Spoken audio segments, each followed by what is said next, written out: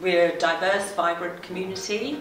We care for each other, we look out for each other, but we're also um, a community of 21st century leaders and we take that responsibility seriously. It's a massive school, uh, 12 form entry. We're trying to you know, integrate everyone as a leader and we think a lot of students within all years have kind of grasped that. In the chemistry department, specifically for A-level, we're really trying to make sure that the students can do um, better than we expect them to achieve. The step up from year 11 to year 12 definitely is a really big one. Um, there's a lot more pressure and a lot more independence involved. Within the school, we've definitely enjoyed um, taking part in so many social activities as well as ba balancing our academic life. We worked together with the school council um, and it's been really, really easy to work with the staff across all years of Beal. Do you do get the chance to have a lot more opportunities and kind of grow into yourself. There's loads of like extracurricular activities that you can do at Beal.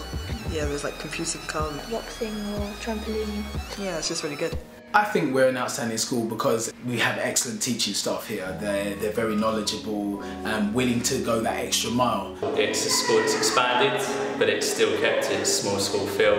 Um, and it's a school where the teaching and learning comes first. The teachers are really good, just don't try and get too big for your boots.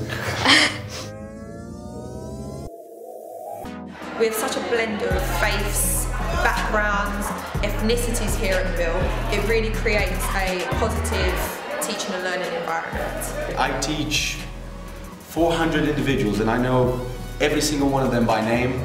I know their likes and dislikes. I know what they're good at and what they need help in. And I think every other teacher in the school is the same. Oh, I'm most proud of the students, absolutely. Um, we have creative students, they think critically, their outcomes are amazing. We are one of the largest schools in England and we really do believe that big is beautiful.